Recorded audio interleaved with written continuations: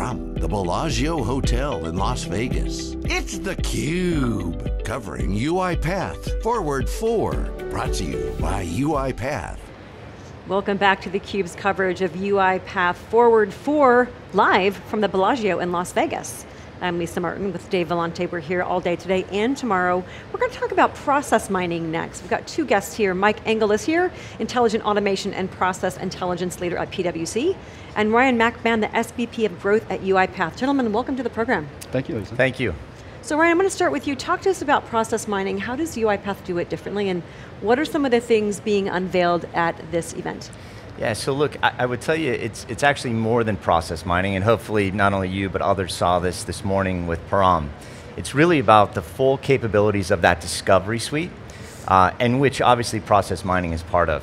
But it starts with task capture, so going out and actually working with subject matter experts on a process, accounts payable, accounts receivable, order to cash, digi digitally capturing that process or how they believe it should work or execute across one's environment, right, Mike? And then from there, actually validating or verifying with things or capabilities like process mining, giving you a full digital x-ray of actually how that process is being executed in the enterprise, showing you process bottlenecks for things like accounts payable, showing you uh, days outstanding, maverick buying, so that you can actually pinpoint and do a few things. Fix your process, right, where a process should be fixed. Fix your application, because it's probably not doing what you think it is. And then third, and where the value comes is in our platform of which process mining is a capability, our RPA platform, really moving directly to automations, right?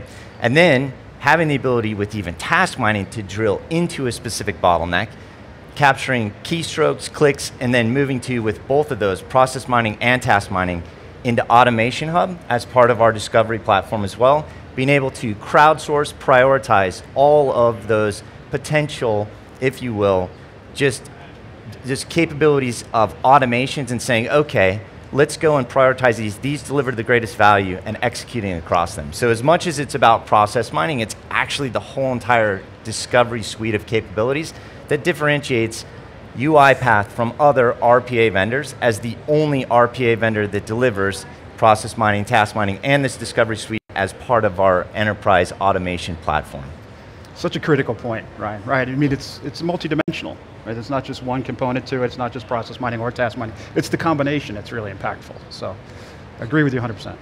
So, one of the things I've, people who watch our shows know, like a broken record on this, the early days of RPA, I called it paving the cow path. And that was good because somebody knew the process, they just repeat it. But the problem was, the process wasn't necessarily the best process as you just described, right? So when you guys made the acquisition of Process Gold, I said, ah, okay, now I'm starting to connect the dots. And now, you know, a couple of years on, we're starting to see that, that come together. And this is what I think is most misunderstood about UiPath, and I wonder, from a practitioner's perspective, if you can sort of fill in some of those gaps, is that th that it's different from a point tool, it's different from a, from a productivity tool, you know, like Power Automate, I'll just say it, that's running in Azure Cloud, that's cool, or a vertically integrated part of some ERP stack. This is a horizontal play that is end-to-end, which is a bigger automation agenda. It's, it's bold, um, but it's, it's potentially huge. $60 billion TAM, I, I think that's understated. Uh, maybe you could, from a practitioner's perspective, share with us kind of the old way yeah. and kind of the new way. Well, obviously, we all made a lot of investments in this space, right, early on to determine what should we be automating in the first place, right? I mean, yeah. we even went so far as uh, we have platforms that will transcribe these kind of surveys and discussions that we're having with, with our clients, right? But at the end of the day, all we're learning is what they know about the process, what they as individuals know about the process, and that's problematic. You know, once we get into the kind of the next phase of actually developing something, we miss something, right? Because we're trying to do this mm-hmm. rapidly. Mm -hmm. So I think what we have now is really this opportunity to have data-driven insights. And our clients are really grabbing onto that idea that it's, it's good to have kind of a sense of what they think they do, but it's more important to have a sense of what they actually do, right? Are you seeing in the last year and a half, we've seen the acceleration of a lot of things. There's some silver linings, but we've also seen the acceleration in automation as a mandate. Where is it in terms of a priority that you're seeing with customers? And are there any industries that you're seeing that are Yeah. really leading the edge here? Well, I, I do see it as a priority, right? And, and of course, you know, in the role that I have, obviously everybody I talk to, it's a priority for them. Um, but I think it's, it's, it's kind of changing. People are understanding that it's not just a, a sense of, as Ryan was pointing, pointing out, it's not just a sense of getting a, a understanding of what we do today. It's really driving it to that next step of actually getting something impactful out the other end. And so clients are starting to understand that. And I like to categorize them. There's three types of clients, right? There's starters, there's stallers, and those that want to scale. And we're seeing a lot, right? Yeah. So we're seeing a lot more on the other ends of this now, where you know clients are really getting started. and They're getting a, a good sense that this is important for them because they know that identifying the opportunities in the first place is the most difficult part of automation, and that's what's stalling the programs. And then on the other end of the spectrum, we've got these clients that are saying, "Hey, I want to do this really at scale. Right. Can you help us do that?" Right. And it's, it's quite a challenge. how do I build a pipeline of automations, right? So I've had success in finance and accounting, fantastic. How do I take this to operations? How do I take this to supply chain? How do I take this to HR? And when I do that, it all starts with, as Wendy Batchelder, Chief Data Officer at VMware would say, and as a customer, it starts with data, but more importantly, process, right? So focusing on process and where we can actually deliver automation. So it's not just about those insights, it's about moving from insights to actionable next steps. Right. And that is where we're seeing this convergence, if you will, take place, as we've seen it many times before. And I mentioned I worked at Cisco in the past. We saw this with voice over IP converging on the network. We saw this at VMware, who I know you guys have spoken to multiple times, when it moved from a hypervisor to including NSX with the network, to including you know, cloud management and also vSAN for storage and converging in software. We're seeing it too with process, really, and instead of kids in clipboards, as they used to call it, right, in many Six Sigma and lean workshops with whiteboards and sticky papers, to actually showing people within really days how a process is being executed within their organization, and then suggesting here's where there's automation capabilities, go execute against them. So Ryan, this is why sometimes I scoff at the, these, the TAM analysis. I get you got to do the TAM analysis, you have to communicate to Wall Street, but basically what you do is you pull out IDC or Gartner data, which is very stovepipe, and you kind of say, okay, we're in this market, that it's the convergence of these markets. It's cloud, it's containers, it's IaaS, it's PaaS, it's SaaS, it's it's blockchain, it's automation, RP. They're all coming together to form this. It, it sounds like a, a, a, a buzzword, but it's this digital matrix, if you will. Yeah. And it's how well you leverage that digital matrix, which defines your digital business. So, so talk about the role that automation generally, RPA specifically, process mining specifically play in a digital business. Do you want to take that, Mike, or do you want me to take it? We can both do it. How Yeah, about that? perfect. Yeah, so I'll Perfect. start with it, right? I mean, it all is about convergence at this point, right? So there are a number of uh, platform providers out there, including UiPath, that are kind of teaching us that. And we oftentimes we're led by the by the software vendors, right, in terms of how we how we think of it. But we, what we know is that there's no one solution, right? We went down the RPA path, lots of clients, and got a lot of excitement and a lot of impact. But if you really want to drive it broader, what clients are looking at now is what is the ecosystem of tools that we need to have in place to make that happen. And from our perspective, it's got to start with really process intelligence. Well, and I would say too, you know, if you look at digital transformation, it was usually driven from an application, right? Really? And what I think customers found was that, hey, I'm going to name some folks here. Put everything in SAP and we'll solve all your problems. Larry Ellison would tell you, put everything into Oracle and we'll solve all your problems. Salesforce. Now I'm a salesperson. I've never used an out-of-the-box Salesforce dashboard in my life to run my business because I want to run it the way I want to run it, right? Having said that though, they would say the same thing. Put everything into our platform and we'll make sure that we can access it and you can use it everywhere and we'll solve all of your problems. I think what customers found is that that's not the case, Right. right? So they said, okay, where are there other ways? Yes, I've got my application doing what it's doing. I've improved my process. But hang on, there's things that are repeatable here that I can remove to actually focus on higher level orders. And that's where UiPath comes in.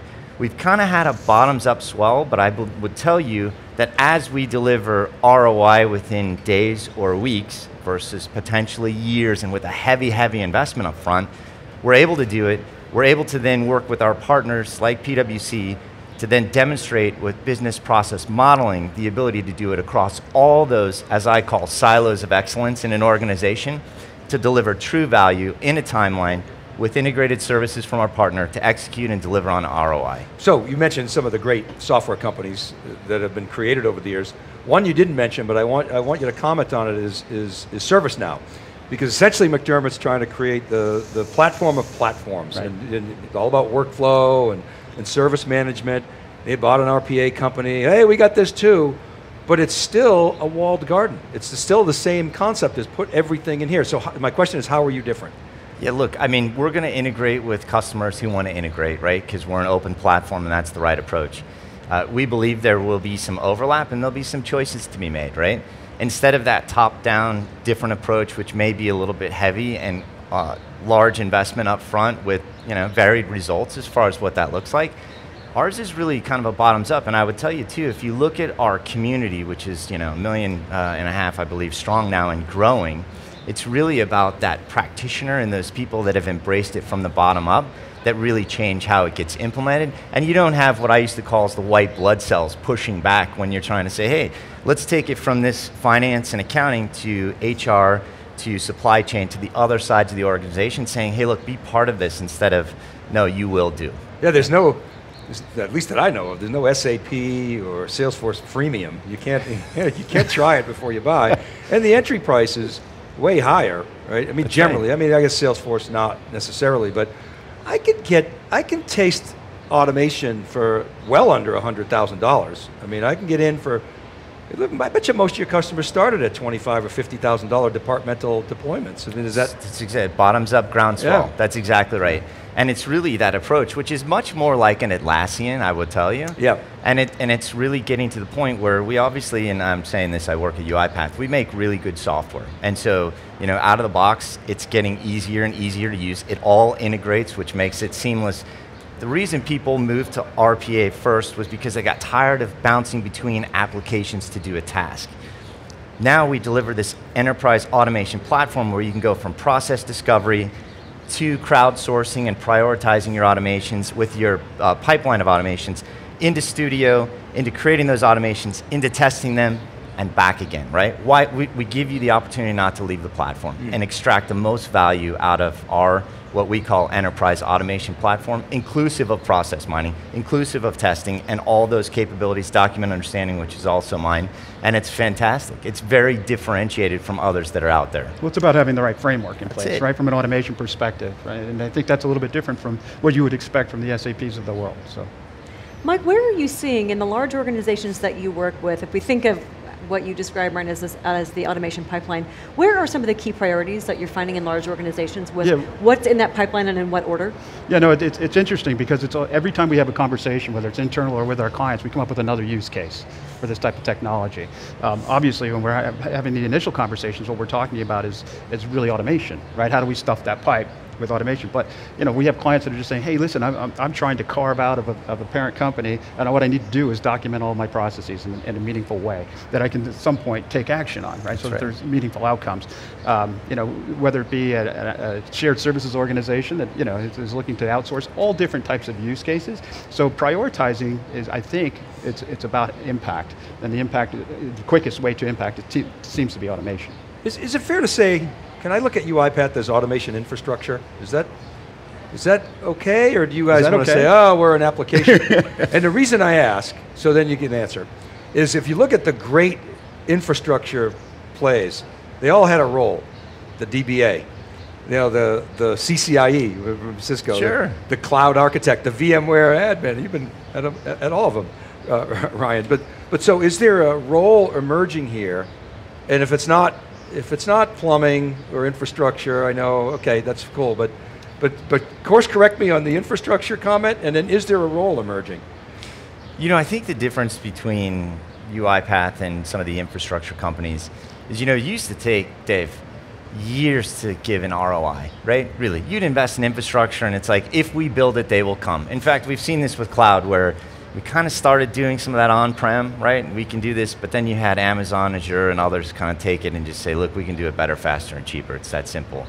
And so I would say that we are an application and we reference it as an enterprise automation platform, right? Uh, it's more than infrastructure. Now, are we going to, this, as I mentioned, integrate as an open platform to other capabilities? Absolutely, right?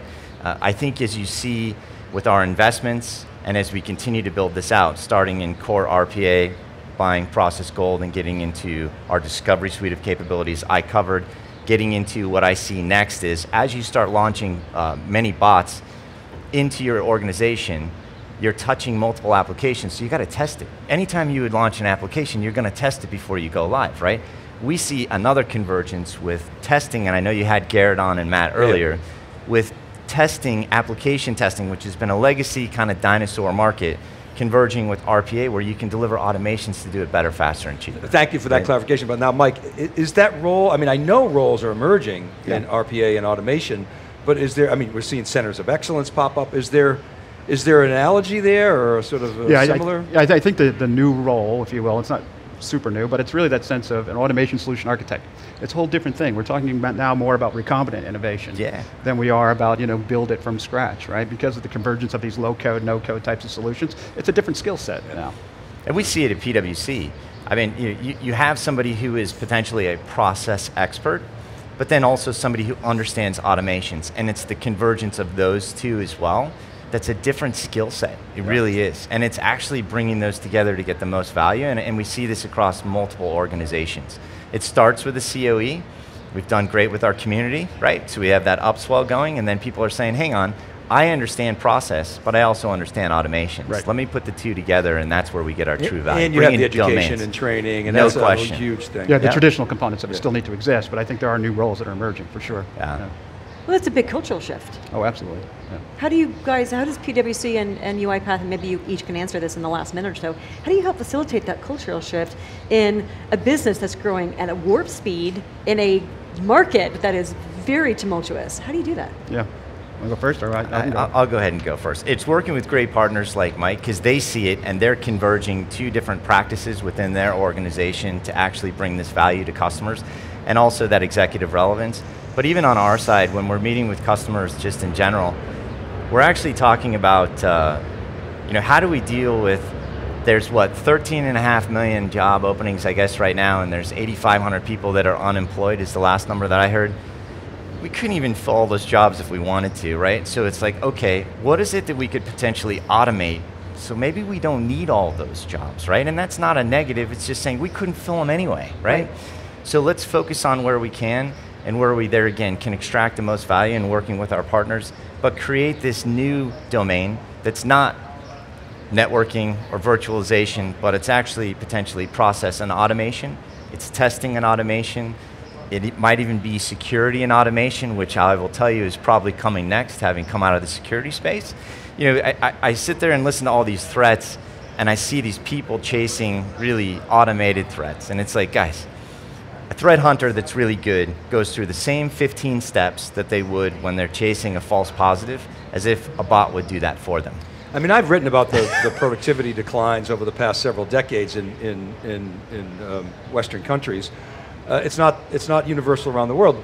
And maybe we have a productivity boost because of COVID, right. but it's like this perpetual workday now. That's not sustainable. So we're not going to be able to solve the world's great problems, whether it's climate change, diversity, massive debts, on and on and on, uh, unless we deal with that that, that labor gap. That's right. And the only way to do that is automation. Yeah. I mean, it's, it's so clear to me that that's the answer. We agree. Or, uh, part of the answer. It is, it is part of the answer. And I think, you know, to your point, Lisa, it's, it's a cultural shift that's going to happen whether we want it to or not. Right. When you think about people that are coming into the workforce, it's an expectation now. So if you want to retain or, you know, attract and retain the right people, you better be prepared for it as an organization. Yeah, I mean, if you remember the old, proficient in Word and Excel. I mean, it makes it trivial, right? I mean, it's trivial compared to that. Right, right. And I think if you don't have automation chops going forward, it's going to be an issue. Hey, we have whatever. 5,000 bots running in our company. How can you help? Right. Huh? What's a bot? You That's know? right. I mean, yeah, you're right. And we see this too. I'll give you an example with Cisco. You know, one of their financial analysts, junior, started. He says part of our training program is creating automations. Why? Because it's not just about finance anymore. Yeah, right. It's about what can I automate in my role to actually focus on higher level orders. And, and this for me is just amazing, right? And you know, it's Rajiv Ramaswamy's son who's over there at uh, Cisco now yeah, as right. a financial analyst. I'm like, I was sitting on my on my, my couch on a Saturday, no kidding, right, Dave? And I get a text from Rajiv, who's now CEO of Nutanix, and he says, I can't believe I just created a bot. and I said, I'm at the right place. Really. That's cool. I mean, hey, you're right too. I mean, you, you want to work for Amazon, you got to know how to provision an EC2 instance, Right. or you don't get the job. you know? yeah. you, know, you got to train for that, and that's these are the types of skills that are expected. in That's the right. future. Awesome. Huh? I'm Guys, glad I'm older. Low Are you no longer proficient in Word is the question. guys, thanks for joining us, talking about what you guys are doing together, how you're really facilitating this massive growth trajectory. It's great to be back in person, and we look forward to hearing from some of your customers later today. Terrific. Great. Thank you for the opportunity. Thank you for having Thanks, us. guys. Our pleasure. For Dave Vellante, I'm Lisa Martin. You're watching theCUBE live from the Bellagio in Las Vegas at UiPath Forward 4. Stick around, we'll be back after a short break.